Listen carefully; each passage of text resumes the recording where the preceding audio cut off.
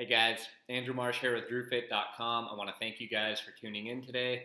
In today's video, I'm going to be sharing with you the ultimate guide to mewing, perfecting it, um, frequently asked questions that I get, and other practices to implement to really get the most out of mewing.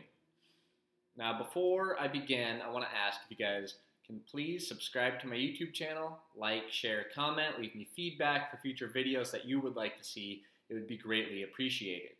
So first off, for those of you that don't know what mewing is, essentially it's the practice of perfect tongue posture.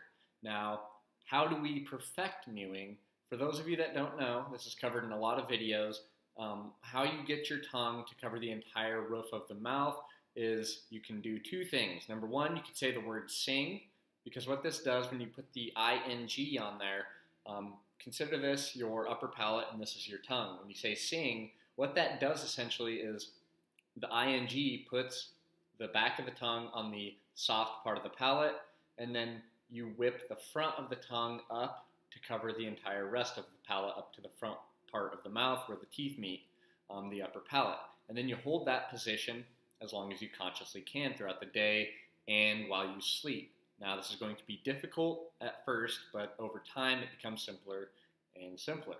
Um, another practice you can do is to smile, put the tip of your tongue where your teeth and your front upper palate meet, and then swallow saliva. Now, what this does, again, upper palate, tongue, here's the front of the palate right here. Um, so you put the tip of the tongue right there, and then you swallow saliva, and then as you swallow, the tongue comes up and covers the rest of the palate, especially the hard to reach soft palate that a lot of people have trouble getting to.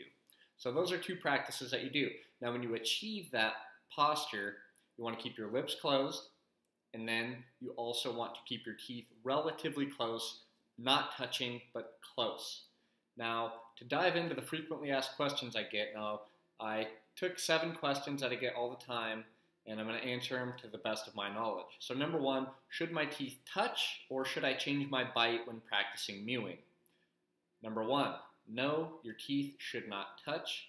This could cause issues down the road.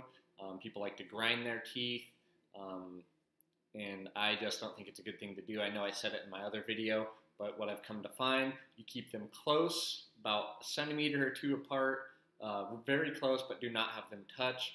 Um, you're going to experience much better results with this. And should I change my bite with this practice? And that's another big no no. And I know I said perfect uh, teeth posture is to have your upper teeth slightly in front of your lower teeth. Um, but a lot of people suffer from maybe having an underbite or an overbite. And if you try to change too much too soon, it's going to experience things like TMJ or other jaw issues further down the road. So don't change your bite. Um, if you want to get your bite changed, I would really consult with a professional on how to do that. Um, so don't do it while practicing mewing. Um, you could experience issues down the road. Now, number two question I get a lot is Is soreness normal? And for the first couple days, two to three days after practicing mewing, yes, it is completely normal to experience. And that's because you are beginning to open up your upper palate and things are starting to realign. So you're going to experience um, some soreness. And the pain should subside. I've gotten a lot of people saying the pain subsides after two or three days. And that was the same for me. I think it took one or two days and it was gone. Um, so, yes, soreness is normal for a couple of days. If it lasts a week, two weeks, stop this practice and consult with a professional on this and see what you can do about it going forward. But I haven't heard of any cases going over a week or two weeks or anything like that, just a couple of days to maybe three or four. Um, number three question I get Is it normal to have an increase in saliva when practicing mewing? My answer is going to be yes. I'm not sure the science behind it, but I've gotten probably 100 plus comments asking this question because everybody is experiencing it, including myself. I'm not sure the science behind it. Um, I don't think there's anything detrimental with having more saliva. I actually think it's a good response for your body to have.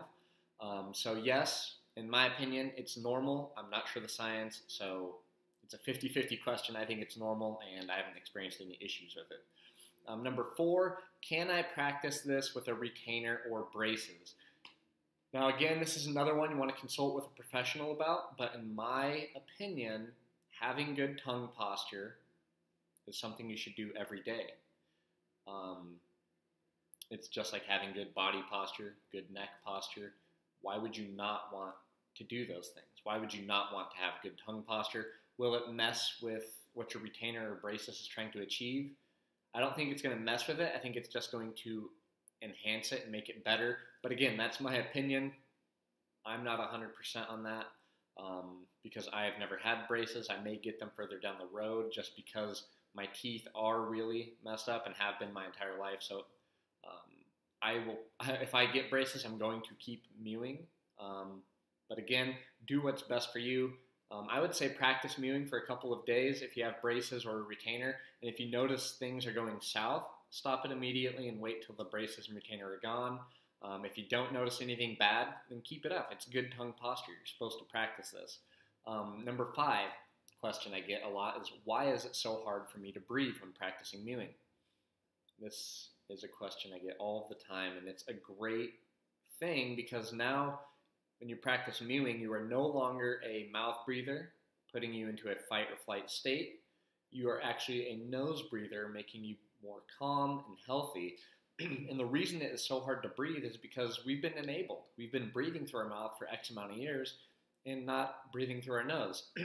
so that airway may have shrunk or tightened up, and now that we're breathing through our nose, we're using muscles that we haven't used in how long consistently. So, yes, it's going to be difficult at first um, to become a nose breather, and that's normal. It was normal for me. It took about two to three weeks, and now I can breathe through my nose all day long, no issues. Um, but you really need to allow it time to really open up the airway and strengthen those mus- muscles of breathing through the nose.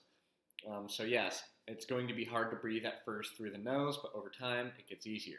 Number six question I get how fast should I expect to see changes? Now, this is a question that has a lot of cofactors to play into it, um, such as age, such as facial bone development, um, such as how long are you practicing, how much conscious effort are you actually putting into it. So, a lot of cofactors play into this. So, in my guess, and this is just a guess, I would say you wouldn't see changes for probably six months to even a year, um, depending on how bad your um, bone structure is in your mouth. For me, it's going to take maybe a year, maybe two years, because um, my teeth are came came in bad, especially the left side of my mouth, kind of caved in my entire life. So I'm working on pushing that out, and who knows, it could take up to three years. But I do know that this practice has helped me a lot. It's strengthened my jaw muscles, and it's beginning to give my face a natural facelift. So I'm not too concerned with um, the time length. It's something that I'm going to be practicing for the rest of my life.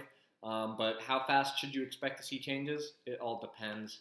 Um, I've had young people about 16 to 22 years old send me pictures on Instagram of the progress that they've made in just two or three months. And um, they're lucky because their facial uh, structure has not been fully developed yet. So the more conscious effort they put into this practice, the faster they are going to see results as compared to somebody like me who's 30 years old. So there's a lot of factors at play in. There's they're doing it in two to three months. Is some people it may take longer. Um, and number seven question plays into that: Does age matter? That's an absolute yes. Like I was just talking about, um, your bones fuse together the older you get in your face, so it may not even have an impact depending on how far down the road you are. But does that mean you should give up the practice? Absolutely not. This is a normal practice for the human body and it's going to make us a healthier being because we're going to become nose breathers with strong tongue posture. So it's like I said, it's just like having good body posture or neck posture. It's just something you want to do for the remainder of your life. Um, so it can only add benefits. It won't be really detrimental to your health, um, in my opinion. Now, on to how to increase your success rate with the practice of mewing. Like I said, practicing mewing isn't going to radically change your life, give you this amazing jawline, make you look like Brad Pitt in his prime. There are things that you have to implement outside of mewing that are going to help get the most out of this practice. Number one, lower your body fat percentage, build muscle, and just live an overall healthier lifestyle, and you will begin to experience a lot more out of this practice. Um, simply because the practice of mewing, a lot of people are doing it to build that strong jawline and give them that facelift. But if you're extremely overweight, you won't see much benefit to this until you start to shed the body fat and really get that uh, chiseled jawline that you're looking to achieve. Um, so live a healthy lifestyle. Number number one, first and foremost. Number two, practice good body posture and neck posture. Because just like with our tongue posture, lifting our face and giving us a strong uh, jawline, you also want to practice good body posture because what that does is that makes your muscles come in a lot better, a lot fuller, um, and just makes you look a lot healthier as compared to having a poor slouched um, posture. And another thing you want to do is good neck posture. Um, a lot of us have cell phones today, including myself, and I catch myself at times just constantly looking down and rolling my head forward. And this results into people having um, forward head posture. And not only is that not healthy for you, but it also makes you look um, like a worm, kind of, um, who does you don't look as optimal as you can unless you have great body posture. So um, I know a lot of people are doing this for the look side of things, but also for the health side of things. This plays a major impact having good body posture and neck posture. And uh, a little uh, side part on this is a good neck posture exercise I actually came across in one of Mike Mew's videos on Orthotropics YouTube channel is to stand up against a flat wall, um, put your head back, the uh, flat part of your head on the wall, and you look up and down. And do that about 20 to 30 times um, uh, reps, uh, a couple times a day, and you'll notice that your, your neck posture begin, begins to come backward and you begin to open up and you just feel a lot better and you begin to look a lot better. So, number two, practice good body posture and neck posture. Number three, um, practice tongue chewing and gum chewing. Um, and you can do both of those with gum. Um, these things are great at one, strengthening your tongue so the practice of mewing becomes a lot easier to cover the entire upper palate and to hold it there throughout the day. And gum chewing essentially strengthens the muscles of the jaw because what we're trying to do with this practice is give you a uh, facelift and give you a stronger jawline. So chewing gum strengthens the muscles of the jaw, giving you that chiseled um, Brad Pitt type jawline. Um, and again, always go with sugar-free gum, not with all the crap added to it, um, aspartame, artificial sweeteners, whatever. Um, stick with sugar-free gum if you can. Um, and then tongue chewing, essentially, there's a video on that very briefly. Um, you ball the, the gum up right behind your front of your teeth and your hard palate. And what you do is you push on that gum with the front of your tongue and flatten it out over the roof of your mouth, and this strengthens the tongue. Um, and that's another exercise that's going to add major benefit to mewing. Now, number four is to have a mindset for success. Now, I'm not going to dive too deep into this, but when you're practicing mewing, be optimistic about the practice. Be optimistic about everything you do in life that's going to potentially benefit your life. Have a good mindset. It makes the process a lot easier, a lot smoother, and results come a lot more rapidly when you shift your mindset from not being uh, fearful, scared, angered, whatever. Um, be optimistic um, and have fun with it, and you know just build a mindset for success, and you're going to see a lot better results a lot faster. So that's basically it, guys. I hope you enjoyed. I'm going to try to cut this video short. Um, as short as I can. I mean, uh, it's almost at 15 minutes. So I hope you enjoyed. Please don't forget to subscribe. And if you have any questions, comments, concerns, please feel free to drop them below. Thanks for watching.